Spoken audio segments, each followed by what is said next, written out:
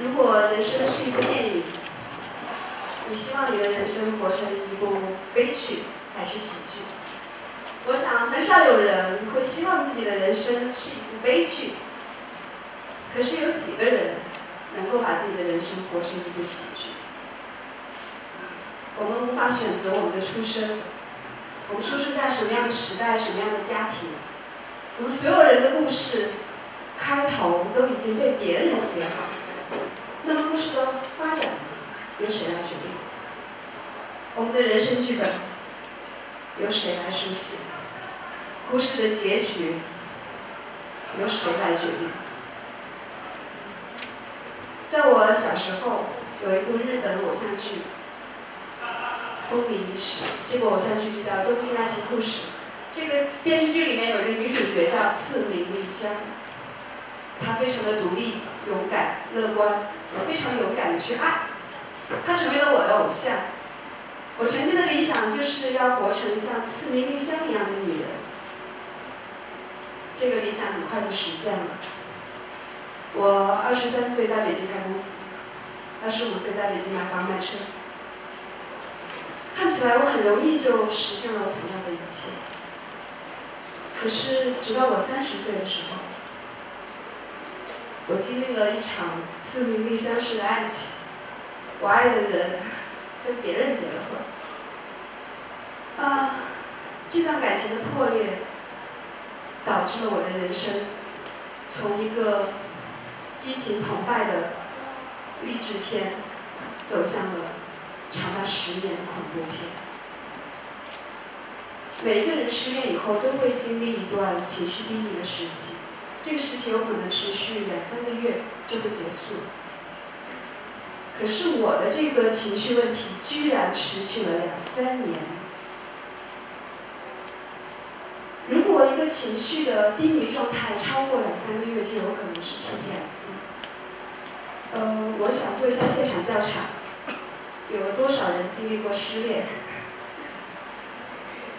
不好意思吗？这么少吗？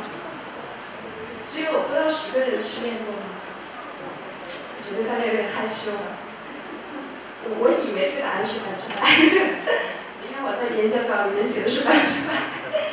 嗯，那我还想继续做一个调查，有多少人知道什么是 PTSD？比失恋的人还多，大概十多个人，呃，百分之十五以内。嗯，我们来看一下什么是 PPS。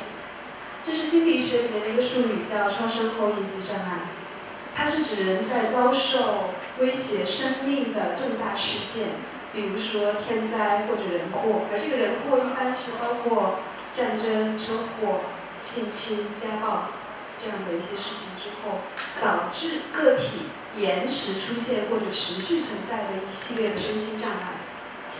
那么问题来了，我三十岁的时候遭遭遇的不过是失恋啊，好像没有失恋没有威胁到生命吧？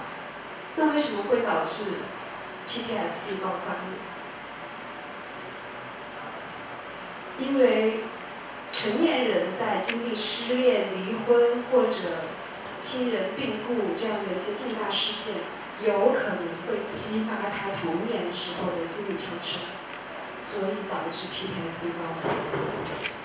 那么我就是属于这种情况。我当时的情绪状态是什么情况呢？举个例子。我觉得我当时已经变成我们认识的另外一个人。我曾经是一个非常骄傲的、从不流泪的人，我觉得这叫坚强。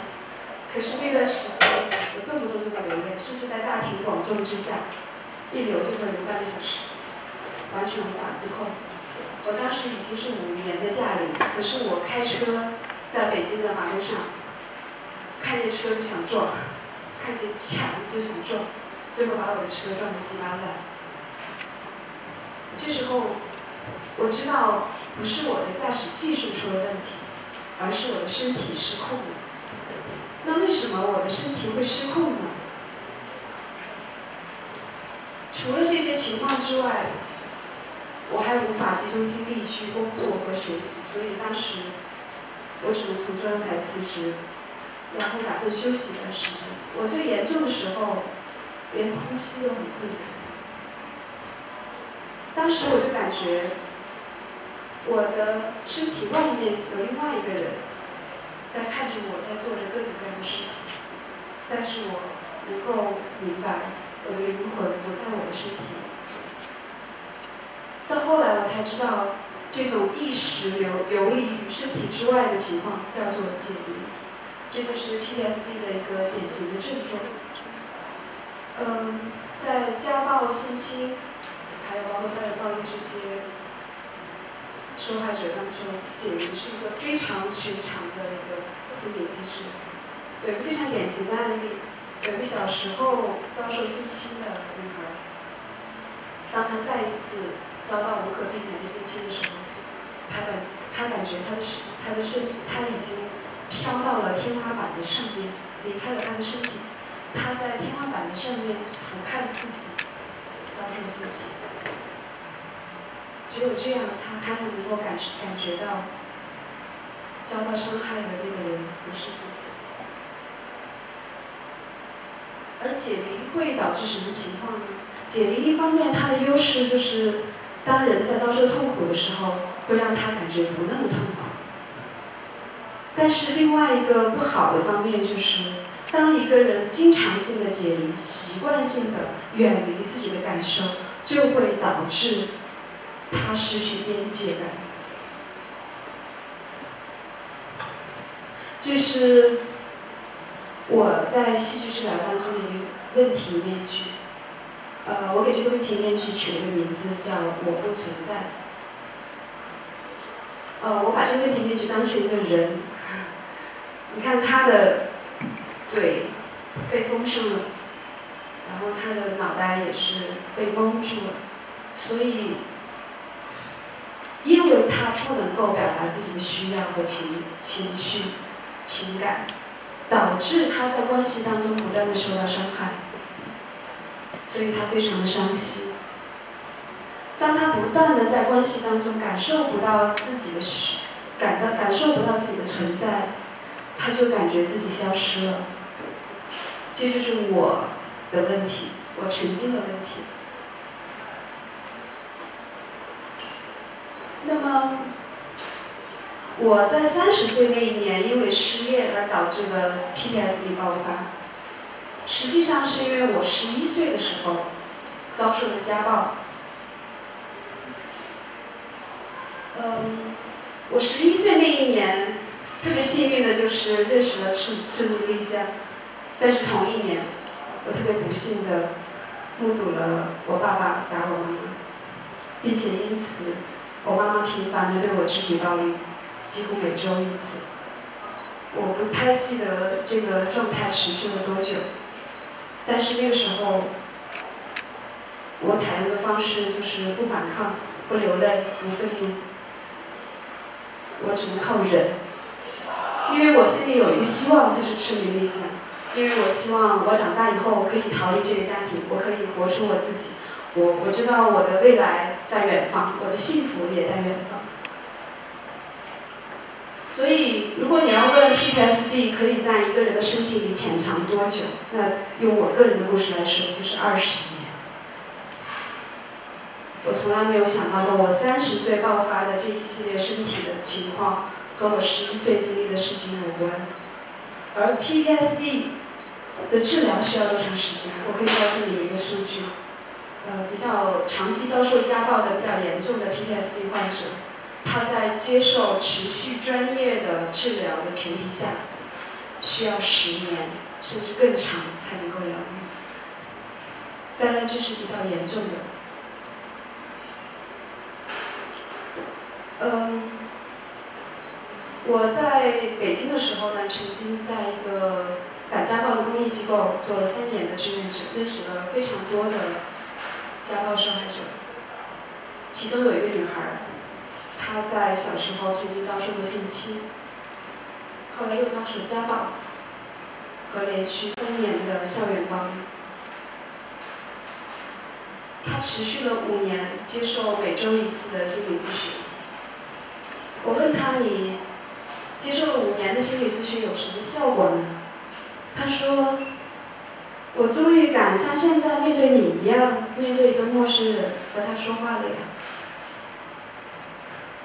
可是当这个女孩出现在我的戏剧治疗课中的时候，她连一个同性之间这种手指间互相碰触的游戏，她都不能接受。她觉得对她来说太恐怖了这件事情。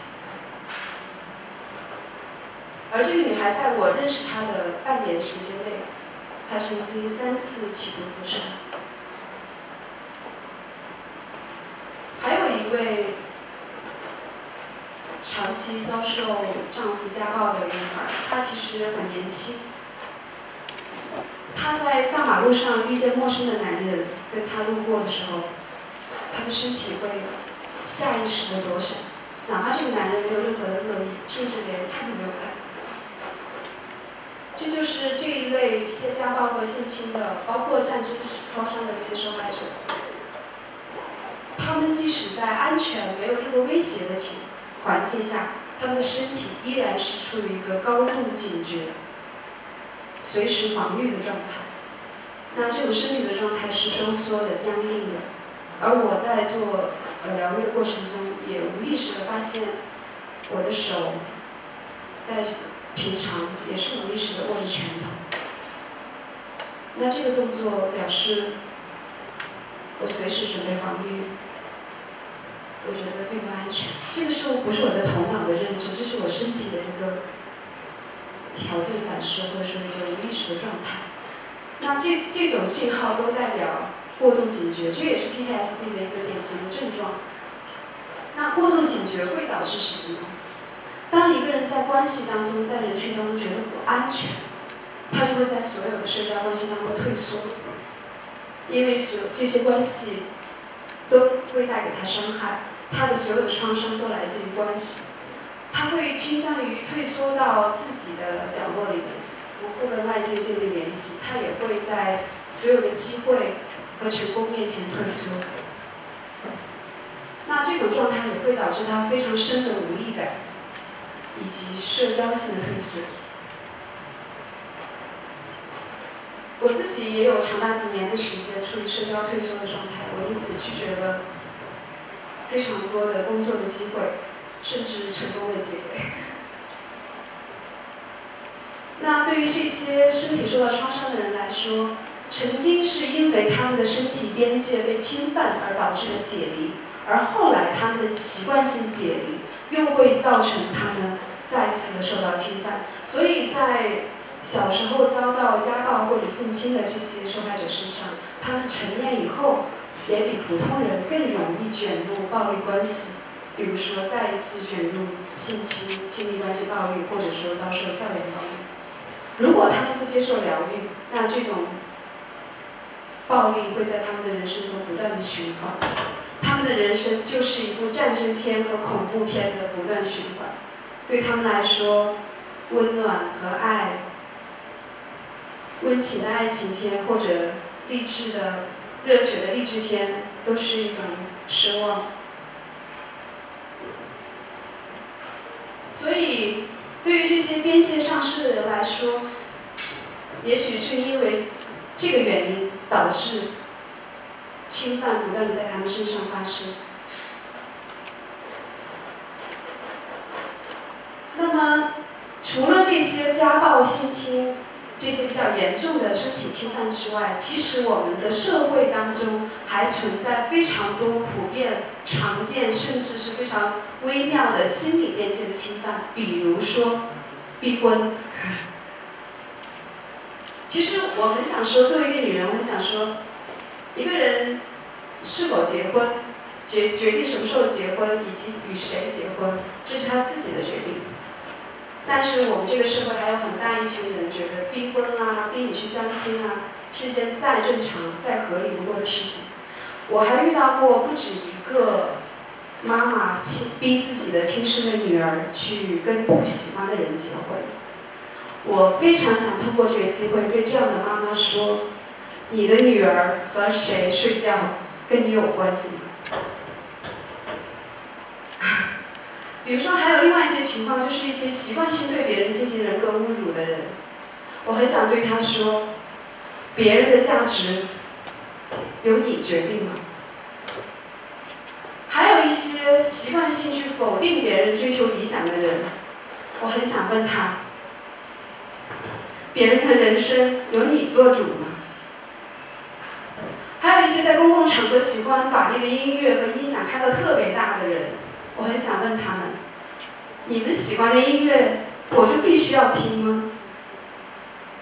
所以这些边界侵犯在我们生活中其实无处不在。那对于这些失去边界感的人来说，要怎么去疗愈呢？这是我的第二个问题面具，叫冰火两重天。大家都看出来了，从头顶到这个嘴，都是非常热烈的愤怒。我的身体里面藏着藏了二十年的愤怒，直到我遇见戏剧疗愈，才有机会爆发。包括我无意识的去撞车撞墙，都是因为我身体里的愤怒像野兽一样要出来，可是我还没有意识到，他们居然有这么大的破坏力。还好我还活着，有机会来上课来疗愈。所以我在戏剧治疗当中。杀了很多人，我曾经把比我强壮的男人杀死，把对我进行死亡威胁的人杀死。在演白雪公主的时候，我把那个想把我毒死的后妈杀死。我一次又一次的杀人，却不需要付出真实的代价。这就是戏剧治疗最美好的地方。戏剧治疗就像一个现实生活的实验室。我们可以在这个实验室当中培养现实生活中所需要的能力，比如说愤怒的能力、拒绝的能力、反抗的能力，也包括爱的能力。那么，戏剧治疗当中用于 PTSD 的治疗方法，就是让受害者和施暴者对抗，让受害者让受害者在和施暴者的对抗当中获胜，让他们通过这种对抗。来获得一种力量感和身体的掌控感，因为获得身体的掌控权，就等于拿回了人生的掌控权。我曾经花了整整十年的时间去修改我的人生剧本。我把一部恐怖片，把一个只能在恐怖片中扮演最弱小的受害者的角色，变成了一个主动。寻求疗愈的自我拯救者。现在我已经获得了一个新的角色，就是一名戏戏剧治疗师。我帮助更多的人去获得他们自己内在的力量。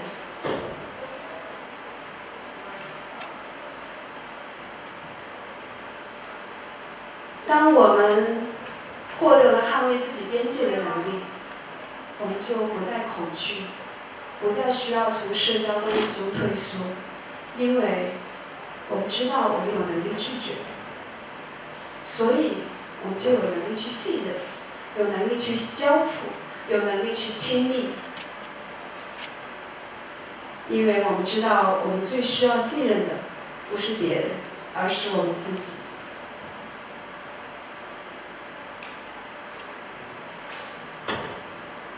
如果人生是一部电影。我们的故事该如何发展？如果人生是一部电影，你是否有能力把悲剧活成喜剧？你是否有能力从一个被动的受害者变成一个自我拯救的英雄？如果人生是一部电影，你是否准备好改写你的人生剧本？如果人生是一部电影，创造自己的人生剧本，才是最伟大的创造。人生是悲剧，还是喜剧？我觉得，应该由你们自己决定。谢谢大家。